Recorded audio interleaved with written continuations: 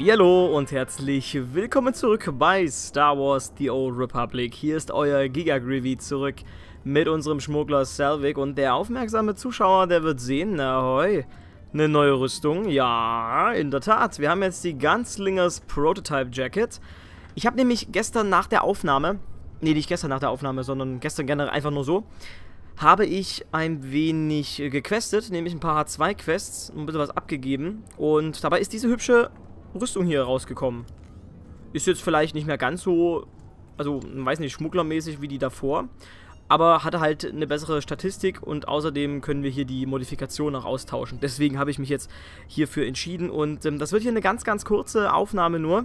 Wir erledigen hier mal ein paar äh, Quests, denn ich will nicht zu viel aufnehmen für morgen, weil morgen die, äh, das Star Wars Panel stattfinden wird.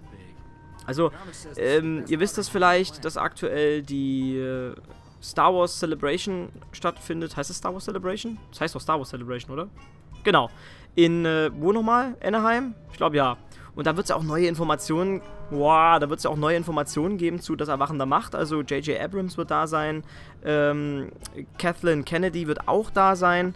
Es wird wahrscheinlich einen Teaser-Trailer geben zu Star Wars Episode 7 und es gibt auch ein Panel zu Star Wars Battlefront. Das hatte ich euch ja in der vorletzten Aufnahme oder beziehungsweise in der vorletzten Folge mal kurz ähm, erwähnt. Und jetzt verfestigt sich das Ganze, der Ablaufplan und es wird auch einen Livestream dazu geben. Und bevor ich jetzt hier reingehe, sage ich noch... Nein, nee, das, das verrate ich euch gleich. Erstmal erstmal in die Story. See? What I tell you, it's the captain from Rogue on the Butcher's bounty posting. Are we lucky or what? I never doubted you for a second, lover. You've always been my lucky star. Ugh, you two make me sick. Hold it right there, Captain. Is that a hairstyle, or did a womp rat die in your head? Did you just... What? Did, who do you... Shut up! Come on, you two. Let's cremate this fool and get rich. Hmm, but you're too young to die. Your friends have so much to live for. Why get them killed? Ooh, tough talk from a scum on the run. I'm not afraid of you. I've got a flamethrower. Ease off, Scorch. I have a bad feeling about this captain. Looks like more than we can handle. Not man enough for a real challenge? Don't know what you see in this guy, Igara. More than you could ever show me. Rilo, this bounty's worth more money than we could earn in a month. All right, lover, but stay behind me. I don't want you getting hurt over a lousy stack of credits. Oh, you've got the wrong person. You kids love talk, huh? Wake me when you're done. We're done. Let's burn it up! Woo! Was zum Henker? Was geht denn mit denen ab? Na, kümmern wir uns erstmal um den Typen da.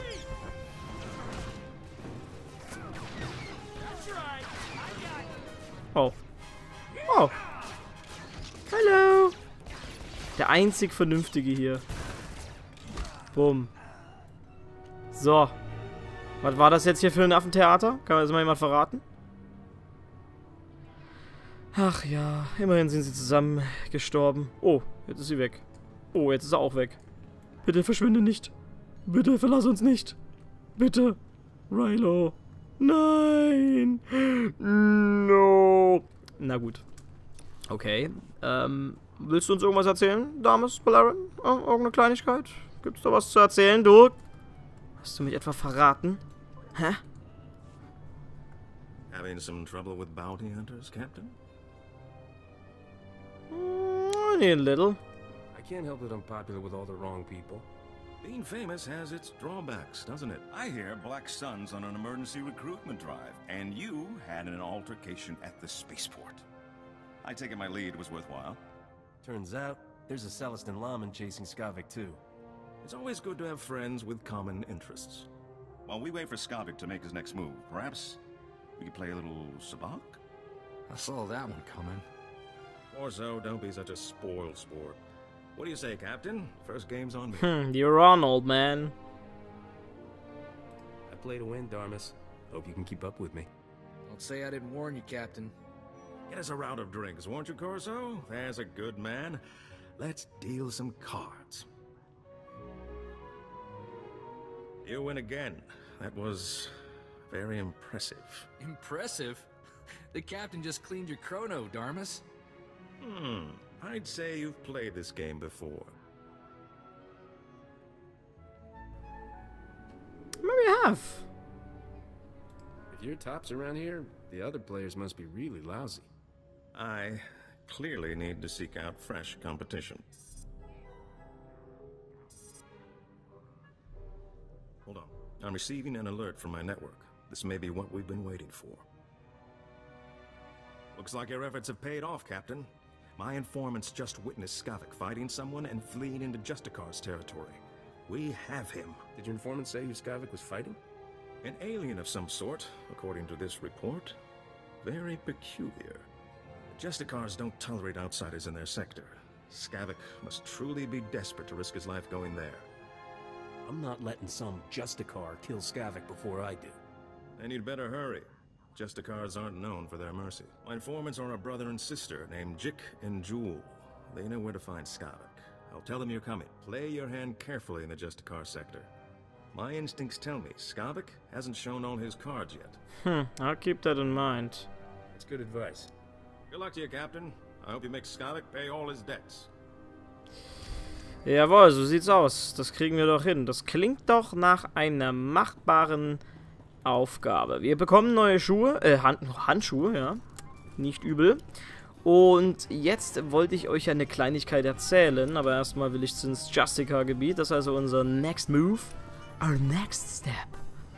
Es wird ein Doppel-Erfahrungspunkte-Wochenende geben, deswegen nur diese kurze Aufnahmesession, damit das auch definitiv in der Folge dann drin vorkommt, die ich für euch vorbereite. Morgen bis Sonntag gibt es also ein verlängertes doppeltes Erfahrungspunkte-Wochenende. Das könnt ihr euch schon mal in den Kalender notieren. Also fangt morgen an, die Twinks rauszupacken und dann geht's los. Ich, äh, das wird sich natürlich gut treffen für, für Selvig. Da können wir ein bisschen leveln. Natürlich gar nicht mal so ungünstig. Und ähm, jetzt haben wir wieder hier oben dieses No Guild Controls the Sector, was nicht verschwinden will. Na super, ist ja super duper. Ähm, los geht das Ganze. Wann geht das eigentlich genau los? Ach genau, ab 20 Uhr. Genau, um 20 Uhr und das Ganze nicht bis Sonntag, Entschuldigung, sondern bis Mittwoch. Bis Mittwoch, dem 22. April, 9 Uhr morgens, könnt ihr also doppelte Erfahrungspunkte genießen. Das ist natürlich eine super Sache. Und ansonsten, wie gesagt, wird es auch zu dem gesamten Star Wars Celebration Wochenende einen Livestream geben mit den News. Los geht das Ganze um 19 Uhr morgen unserer Zeit und das Ganze soll ungefähr 30 Stunden andauern, dieser Stream. Das kann ich euch schon mal sagen. Ansonsten äh, vielleicht eine kleine News zu Star Wars Battlefront an dieser Stelle. Star Wars Battlefront wird Teil des EA Access Programms sein. Für diejenigen, die es nicht kennen, EA, EA hat so einen kleinen Vertrag mit Microsoft, dass bestimmte Spiele zuerst auf der Xbox One gespielt werden können und dazu, jetzt kann ich nicht mal das eröffnen, doch kann ich doch. The Justicars. Ähm, und dazu gehört eben auch Star Wars Battlefront. Das heißt, diejenigen, die von euch eine Xbox One haben, die haben Glück. Die werden das als erstes spielen können. Ich hingegen werde warten, bis es für den PC erscheint. Und dann natürlich super Let's Playen. Da könnt ihr euch schon mal drauf verlassen. So. Zack. Wo müssen wir genau hin? Erstmal looten. Ich will nämlich eigentlich Speak to Jewel, okay. Aber da, ach so, ach ja, genau, das sind die Ordnard Saboteurs. Okay, aber wir wollen trotzdem erstmal zur Klassenstory. Die ganzen Nebenquests, ja, die könnte ich vielleicht mal in einem Stream machen oder so. Jetzt so nach der Aufnahme heute so ein Stream mit Star Wars The Old Republic, das wäre sogar mal was, wo ich sagen würde, ja, warum eigentlich nicht? Aber erstmal gehen wir jetzt hier rein und quatschen nochmal eine Runde. Auf geht's. Hallo, klopf, klopf. Ah, da. Du bist also die Schwester. Na, hallihallo, hallihallo. The captain, right? About time you got here. Thanks to you, the Justicar snagged my brother Jick. Should have never tangled ourselves in your cloudhead business. Hmm. What do you mean by Cloudhead? You're from where the air is thin and heads are soft. This is Turferland. Wise up and grab some ground. I'm Jewel. My brother Jick and I were watching Skavik for you. Big mistake. Nothing but trouble. Things always go bad for turfers when cloudheads come down here. Never should have took this job. Your ray of a sunshine. Are you done berating me yet? Haven't even started. You kept me worrying and waiting a long time. Jick and I were tailing Skavik when the Justicars came after us. Jick stuck to Skavik, I drew the Justicars. I lost those helmet brains easy. but they snagged Jick and hauled him off to their detention center. I could lend a hand if you need one. Like you have a choice. Our bad luck is your bad luck. Jick knows where Skavik went, but he didn't have time to spill it to me before they snagged him. You want Skavik? Better prowl into the Justicar's detention center and free my brother. Hmm. Why can't things be easy? Just once. This is life in Turferland. Welcome to it. Once inside the detention center, you have to bash all the Justicar droid eyes. That's how they track intruders. If those droid eyes aren't rubble, the Justicars will know your face. You don't want that. Droid eyes. The Jessicas don't worry me. Smash everything. Check. I was already planning to trash the place, kid. Make sure you get all the droid eyes. It's the only way we get out of this clean, understand? Don't just stand there goggling at me. Get Chick out of that detention center before something happens to him. Hmm, on one con- Oh, on one condition. Fine, enough goggling. If I do this, you have to stop calling me a cloudhead. Don't bet on it. Take this holo transmitter with you. I want to talk to Jake as soon as you free him. Ah, das ist ja keine Flirtoption hier. Ja, ja, ja, ja. Okay, wir wissen also Bescheid. Wir müssen den Bruder retten. Da unten geht es dann noch weiter. Und da wird es jetzt zu den Arknag... Arknagts gehen. Ark Arknagts. Komischer Name. Aber lustige Typen, diese Arknagts. Ah, so viele Quests. Ja, die muss ich mal nebenbei machen. Die kann ich jetzt, kann ich jetzt nicht machen. Wir fahren mal hier weiter. Ähm, ähm, wer wird denn von euch den Livestream verfolgen? Gibt es da jemanden? Gibt es da Leute, die sagen, oh ja, genial, gucke ich mir an. Also meine, die vollen 30 Stunden wird sich wahrscheinlich niemand durchziehen, aber nur mal so ein bisschen gucken, so. Also ich bin auf alle Fälle auf den Teaser-Trailer gespannt. Von, was? Von Star Wars, The Old Republic? Oh nein. Oh, keine Connection mehr. Jetzt ist sie wieder da, jetzt wieder nicht. Das ist aber sehr seltsam. Was ist da, was geht da los? Hallo? Test, Test, 1, 2, 5. Da scheinen wohl gerade die Server abzuschmieren. Na, jetzt sind sie wieder da. Oh, mitten in der Aufnahme. Mensch, Leute, das könnt ihr noch nicht machen mit mir. Das könnt ihr noch nicht machen. Ähm, hallo? Der ist gerade beschäftigt. Okay, das ist gut. Ah, im, ich war hier schon mal. Da drüben gibt es dann auch äh, den einen Gegner für die, na sag mal schnell, für die Kopfgeldjäger-Auftragswoche. Das weiß ich noch. So, dann verkaufen wir mal die Teleron Scouts Jacket. Die brauchen wir dann eh nicht mehr. Den Gürtel auch nicht. Die im Normalfall auch nicht. Nö. Ah, die Server schmieren gerade ab. Ich, ich merke es. Es ist gerade sehr, sehr laggy. Aber gut, was willst du machen? Ich verkaufe mal das ganze Zeug. Was haben wir denn noch? Endurance. Das muss ich auch alles mal irgendwie anderen Charakteren zuschieben. Beziehungsweise solche Dinge hier. äh, Aluminum. Aluminium. Ist auch interessant. Es wird im Englischen, glaube ich, Aluminium ausgesprochen und im amerikanisch-englischen wird es Aluminum ausgesprochen. Sehr seltsam. Ja gut, die Verbindung ist irgendwie abgeschmiert. Keine Ahnung. Was macht der denn hier? Ich verstehe das nicht. Also an meinem Internet liegt es nicht. Mein Internet läuft. Mal gucken, was der allgemeine Chat sagt. Laggt es bei euch auch? So ist natürlich ärgerlich, dass es mitten in der Aufnahme passiert. Aber die Server scheinen gerade wirklich sich zu verabschieden. Oh, jetzt. Plus. Gut, dann liegt es wirklich nicht nur an mir. Dann, ja, sehr gut. Okay. Perfekto. Dann wagen wir uns jetzt trotzdem mal hier in den Kampf, bevor ich die Aufnahme beende. Oh, ein Hound. Ganz Lu Das finde ich übrigens sehr witzig, dass das Ding Hound heißt im Englischen und das eben wie Hund klingt. Der eine schreibt nö. Ja, jetzt haben sie sich auch ein bisschen beruhigt. Ihr könnt das verfolgen, indem ihr hier unten rechts immer mal diese Server-Lags durchschaut. Ihr seht das schon. Sehr interessant. 453 Millisekunden.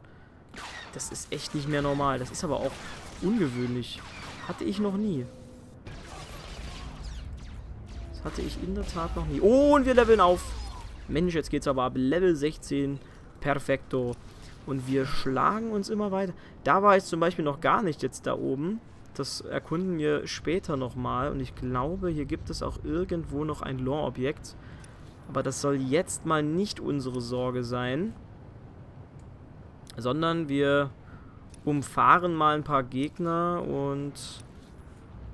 Oh, ja, die werden wir nicht umfahren können. Und kümmern uns jetzt um die hier, so. Und machen uns immer weiter nach unten. Habe ich nicht noch irgendwie eine zweite Waffe? Genau, ne? Diese Scattergun. Da muss ich mich auch mal um Ersatz kümmern. Es kann ja nicht sein, dass ich hier mit Level 30er, Level 34er Equip rumlaufe. Ach, das habe ich hergestellt. Kann ich noch mehr herstellen? Oh, das, ähm, ähm, kein Kommentar. Da hätte ich mich mal drum kümmern sollen. Um diese ganzen Geschichten hier. Mensch, so viel Dash, was wir alles haben. Da level ich mal auf, äh, abseits von der Aufnahme. Die werde ich jetzt eh jeden Moment beenden. Ich will zumindest hier in dieses Main zu diesem Maintenance Elevator. Oder hätte ich in die andere Richtung gehen müssen? Oder machen wir das mal?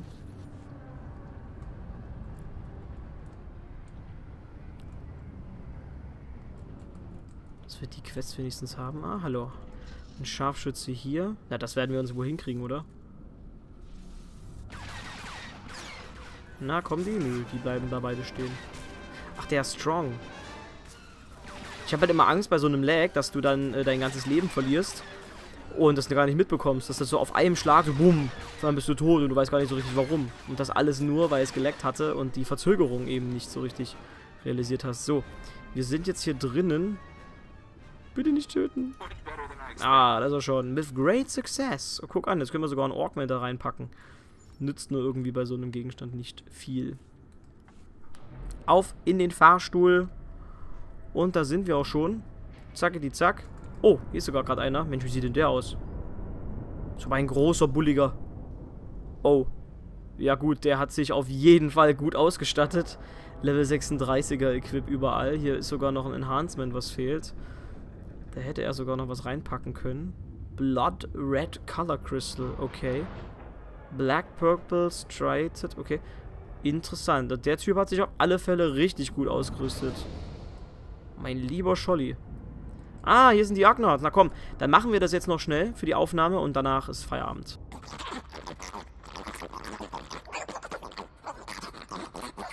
Surrender, please. Cooperate and you won't be harmed. Where's the Gree device?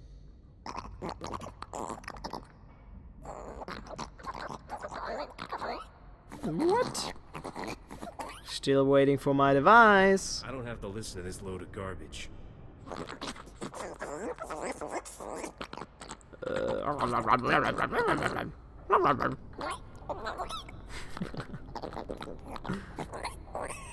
okay.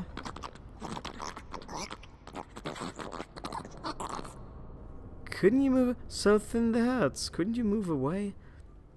Sounds like it's time to find a new home.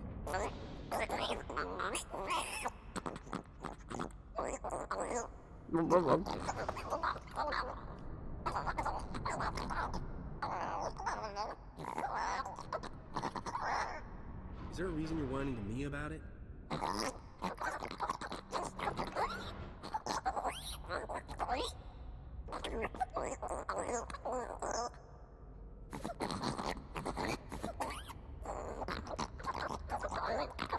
Oh, natürlich, wir sind doch, wir sind doch liebe Menschen. I'll tell the Gree representatives about your situation.